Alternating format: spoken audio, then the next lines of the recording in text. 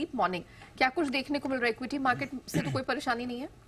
एक दिन का रिएक्शन आया था अमेरिकी इन्फ्लेशन आंकड़ों पर।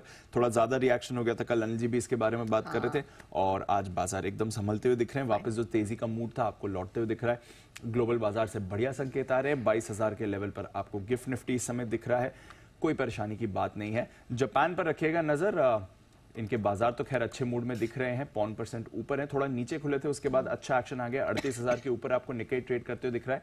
जापान का जीडीपी डेटा आया था सरप्राइजिंगली नेगेटिव जीडीपी डेटा आया है क्यू फोर में minus zero point four percent रहा तो टेक्निकली जापान आपके लिए रिसेशन में आ गया है।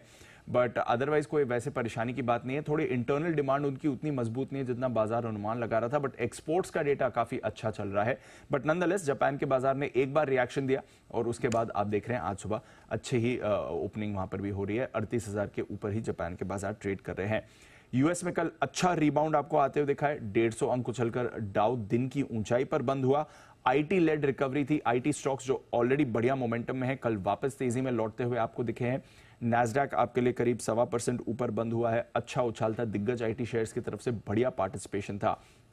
इनका जो स्मॉल कैप इंडेक्स है रसल 2000 इस पर रखनी है नज़र, क्योंकि कल एक ही सेशन में, माफ़ कीजिए परसों शाम को एक ही सेशन में चार परसेंट ये लुढ़का था। उससे पहले तीन सेशन में पाँच परसेंट दौड़ा था और कल के रिबाउंड में यहाँ से वापस लीडरशिप आती हुई दिखी है। ढाई परसेंट का उछाल रसल 2000 में आया तो परसों की एक गिरावट के बाद कल वापस तेज़ी में आपको स्मॉल कैप्स आते हुए दिख रहे हैं और बढ़िया एक्शन वहाँ से आपको बनते हुए दिखा है।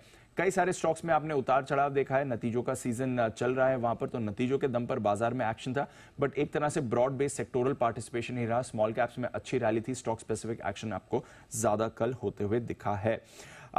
आज इनके जनवरी महीने के रिटेल बिक्री के आंकड़े आने वाले हैं। अनदर इंपॉर्टेंट डेटा पॉइंट रहता है, क्योंकि अमेरिका एक कंजम्पशन बेस्ड इकोनॉमी है तो देखते हैं वहाँ पर किस तरह के संकेत आते हैं। बट जहाँ तक मार्च रेट कट का अनुमान है, बाज़ार मान चुका है कि मार्च में तो नहीं होगा, मई में देखेंगे और अब से मई तक बहुत समय है, काफ़ी सारा डेटा आने वाला है तो उतना बड़ा रिएक्शन इस पर शायद नहीं आए, जितना कल हमने इन्फ्लेशन के आंकड़ों पर आते हुए देखा।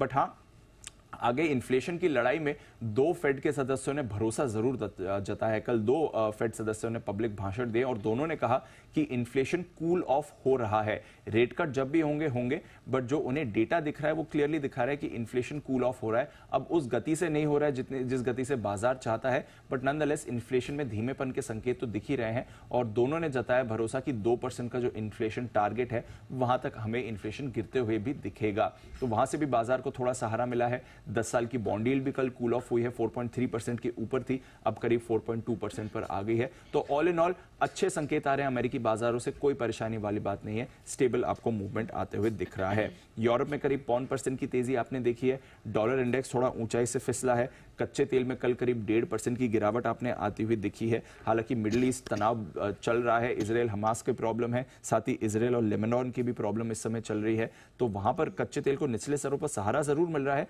बट कल अच्छी बात है, ऊपर से करीब डेढ़ परसेंट की गिरावट आपने देखी है। नेचुरल गैस लगातार यहाँ पर प्रेशर है। चार साल के निचले स्तर पर आपको नेचुरल गैस के दाम दिख रहे हैं। दो महीने के निचले स्तर के आसपास सोना इस समय स्टेबल है। 2000 डॉलर के आसपास ट्रेड कर रहा है। वहीं चांदी में आपने चार महीने के निचले स्तर से एक रिबाउंड देखा है। बेस मेटल्स में मिला जुला एक्शन था। एग्री कमोडिटीज में भी कुछ ज़्यादा खास नहीं हुआ है। बट ओवरऑल कल के मुताबिक आज सुबह बहुत बढ़िया आपको ग्लोबल मार्केट के संकेत आ रहे हैं। एक पॉज ज़रूर लिया था इन्फ्लेशन डेटा पर रिएक्शन आया था। उसके बाद वापस तेज़ी में लौटते हुए दिख रहे हैं आपको अमेरिकी बाज़ार। चलिए तो